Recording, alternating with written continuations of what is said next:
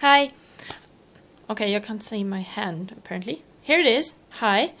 Um, so I was working around my apartment, uh, looking for pants because I told myself, uh, put some pants on, because I took my pants off the day before yesterday and I have I haven't managed to put any pants on since then.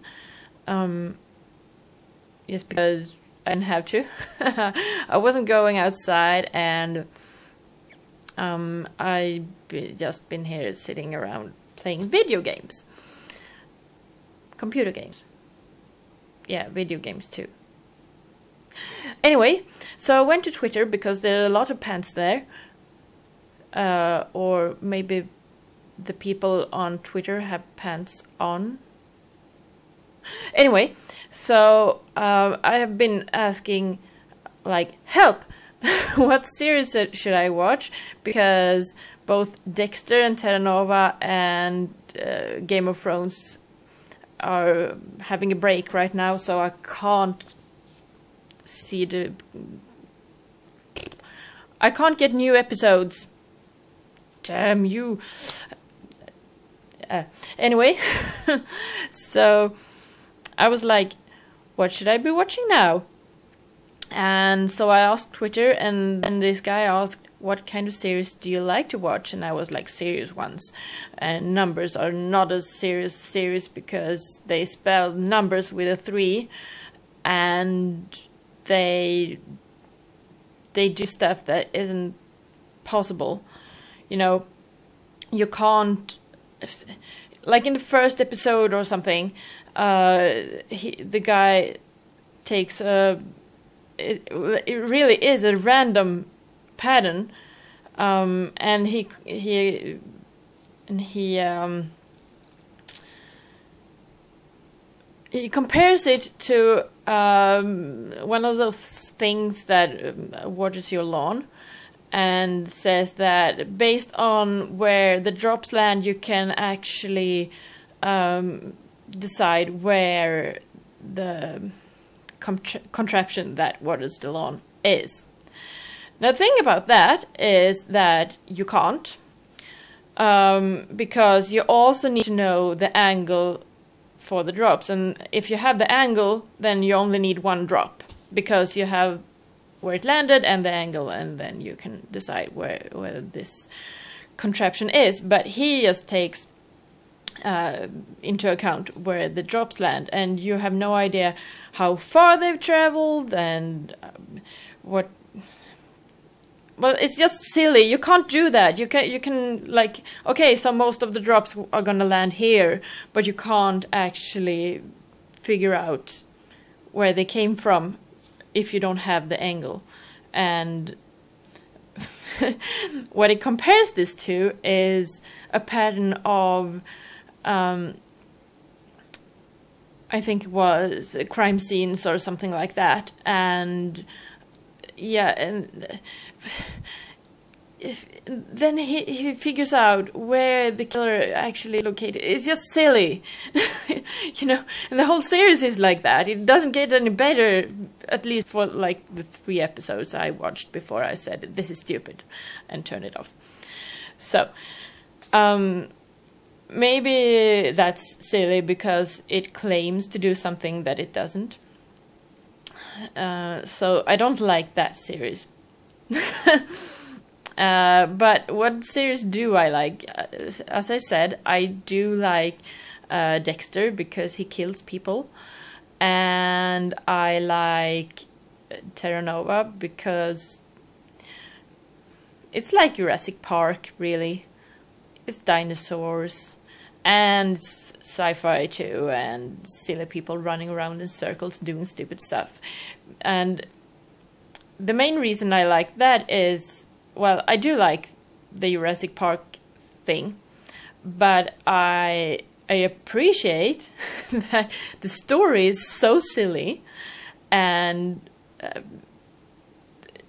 well ill bad researched I, I feel so that it feels like I could have written that and that gives me a lot of self self theme. I'm like, I can figure out uh, what's going to happen and why they did that, and uh, I can I can recognize a lot of like story things they used.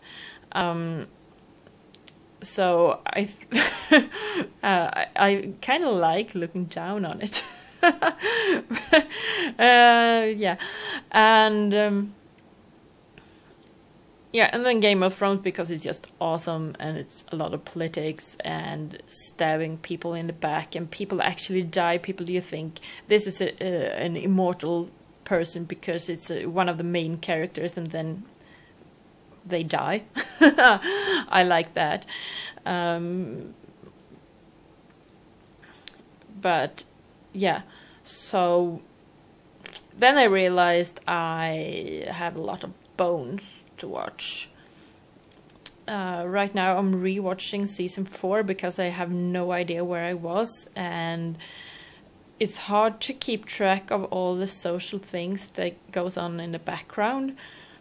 And you can't just skip through the episodes watching. Uh, oh, this is that crime, so I know that this is the episode where Bones said that silly thing to to Booth and so on. So I really feel that I need to rewatch it. So I'm kind of busy now, but it might be nice to have another series to mix it up with. And yeah, I really originally liked Bones because she doesn't have a clue. She's so smart, but she doesn't have a clue. She's always saying in the f- first season or something. She's always saying, "Yeah, I don't know that, what that means." Whenever someone talks about some social thing, so that's what I like about her. Um, but then all these social things got in the way, and now I'm like curious to see uh, if this is one of the series where the two main characters actually do end up together, and then if they do, the series will probably end up silly. Because. Oh, yeah. Uh, that's another. it's really uh, common. Why is it that so many series have two main characters. Uh, it doesn't have to be the only two main characters, but sometimes uh, like it feels like they're the queen and the king, and everyone else is just side characters, and they are so obviously in love, and they can't. Um, and they can't admit it to themselves even and so they go around doing stupid things and hurting each other and making the relationship way complicated before it even started.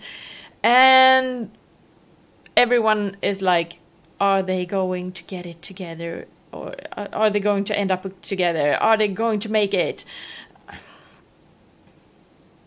Sometimes when that happens i just get very tired and think it's stupid